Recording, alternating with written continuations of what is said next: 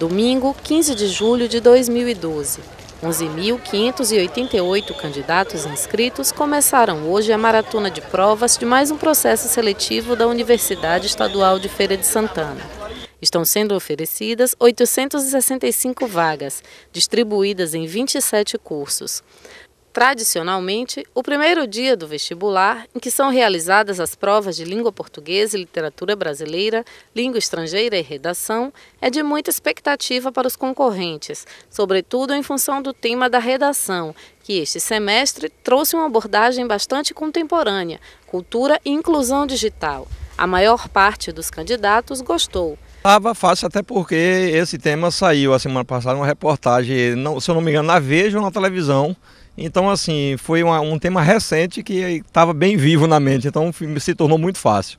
Estava relativamente fácil, porque ele também dava os tópicos que ele queria que ele queria que abordasse na, na redação, e só foi seguir uma linha de pensamento. Mas também houve quem considerasse a proposta incomum e o tema da redação bastante complicado. Eu achei muito peculiar, eu realmente não esperava e achei que foi uma surpresa para todo mundo.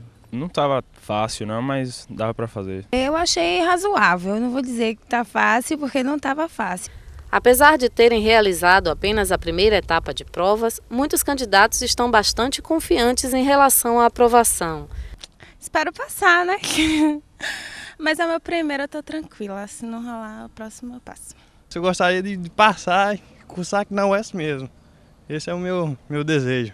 Regimário Carneiro está tentando uma vaga no curso de Direito, o mais concorrido do Procel 2012.2, com 48,47 candidatos por vaga.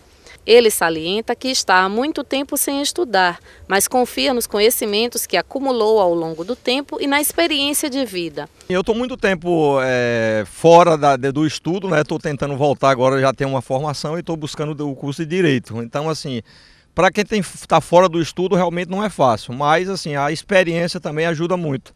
De acordo com um balanço realizado pelas coordenações que estão atuando no campus da universidade e nas 12 escolas públicas onde as provas estão sendo aplicadas, o primeiro dia de vestibular transcorreu em clima de total tranquilidade.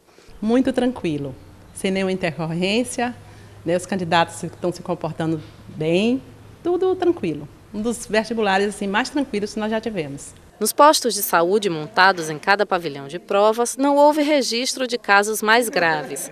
De acordo com as equipes médicas e de enfermagem, alguns candidatos passaram mal em função da ansiedade, mas voltaram a fazer as provas normalmente. As pessoas vêm com mal-estar, dor de cabeça, é, às vezes não se alimentam bem antes de sair de casa, o dormir tarde também às vezes atrapalha. Então, o mal-estar geralmente é esse. O ideal é que a pessoa procure nesses dias é, ter atitudes de relaxamento, dormir mais cedo, também não deixar de se divertir, mas com limitação. Se alimentar bem, mas de forma mais leve, tomar muito líquido, evitar bebida nesse período.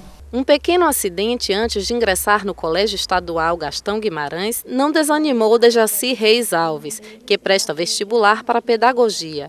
Mesmo com um pouco de dor abdominal em função de uma pancada, ela se mostrou confiante. Minha expectativa é fazer as provas e passar. A única expectativa que eu tenho é essa, é fazer e passar. Teve um pequeno acidentezinho hoje aqui, mas isso não vai te desanimar, não. Não, com certeza, até porque isso aí, acidentes acontecem, até no percurso que a gente vem, né, pegar um, um ônibus, um carro, acontece. Mas isso aí não vai influenciar, não, no, no meu desempenho lá fazendo minha prova. Os postos do Instituto de Identificação Pedro Melo também não foram verificadas ocorrências mais sérias, apenas alguns casos de candidatos sem porte de documento oficial ou portando fotocópia, o que, segundo o edital, não é permitido. Os técnicos do Pedro Melo explicam que, nesses casos, o procedimento implica coleta de impressões digitais e comparação com o arquivo central do Instituto em Salvador. De acordo com a coordenação de seleção e admissão da UFES, um forte esquema de segurança é rotineiramente montado em torno do processo seletivo da universidade, que é apontado como um dos mais seguros do país. Isso é em decorrência não só do treinamento do, do, do pessoal que atua, cerca de 1.100 pessoas atuam diretamente, são devidamente treinados. Há um efetivo muito grande atuando durante o vestibular. Temos alguns sistemas de segurança é, extraordinários. Além de detector de metais, nós temos a presença do Instituto Pedro Melo, que faz identificação com qualquer dúvida em relação à documentação, eles fazem a identificação em, é, imediata do, do candidato. Temos um sistema de coleta de digitais universalizado para depois fazermos uma contraprova com os candidatos aprovados é, já em, após a matrícula. Então há uma série de, de, de a, ações que visam reforçar cada vez mais a segurança é, do processo seletivo. A segurança policial, no entanto, precisou ser bastante reforçada no campus universitário nesse segundo semestre de 2012, em função da presença do coletivo Rapinagem, grupo de estudantes que há mais de 90 dias ocupa o prédio do restaurante universitário. De acordo com a coordenação de seleção e admissão da UFES, os estudantes só têm permissão para circular entre o restaurante e a residência universitária. Caso descumpram essa determinação, estarão sujeitos a punições legais, como quaisquer outros cidadãos que ponham em risco a segurança do vestibular. O cotidiano do vestibular exige a presença da, da Polícia Militar esse ano, com reforço por conta das circunstâncias que vivemos hoje essa ocupação no restaurante não nos permite trabalhar com o mesmo sistema, ampliando o sistema para garantir a segurança do vestibular. Quais são as expectativas para esse processo? Que ele seja tranquilo. As medidas que nós adotamos é para garantir a tranquilidade do processo e até o momento ele está tranquilo como desejávamos e como esperamos que permaneça.